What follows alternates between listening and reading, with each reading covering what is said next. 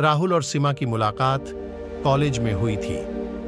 वे एक दूसरे के साथ कक्षा में बैठते थे और धीरे धीरे दोस्त बन गए। राहुल ने सीमा में पहले ही नज़रें डाली थीं, पर सीमा को उसके प्रति कोई खास इंटरेस्ट नहीं था। कुछ महीने बाद एक दिन राहुल ने सीमा से अपने दिल की बात कह दी।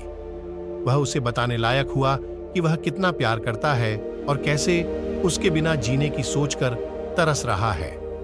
सीमा थोड़ी चौंकी, पर फिर वह भी अपने दिल की बातें राहुल से शेयर कर दी। दोनों का संबंध दिन पर दिन मज़बूत होता गया।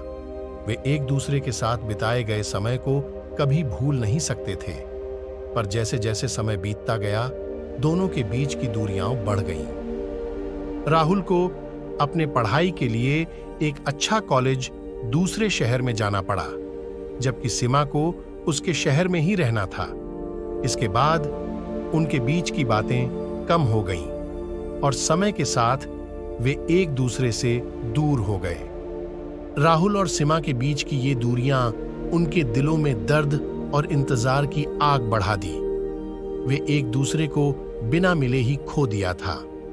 क्या ये प्यार की कहानी एक दिन फिर से उनके मिलने की दिशा में बदल सकती है? क्या वे अपने प्यार को पुनः जी सकते हैं?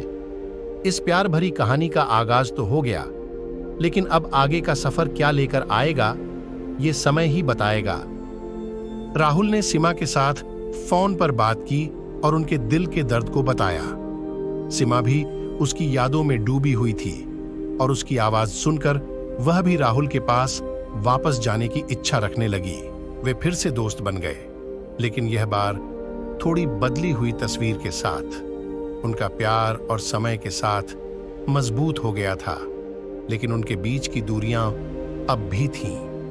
राहुल ने अपनी प्रेम की भावनाओं को फिर से इस बार सीमा के सामने रख दिया और उसे अपनी ज़िंदगी का हिस्सा बनाने की प्रस्तावना की। सीमा ने भी उसके प्रेम का सामर्थ्य किया और दोनों ने एक नई शुरुआत की तय की। दोनों ने अपनी दूरियों को पार करने का निर्णय किया और एक दूसरे के पास वापस आ गए।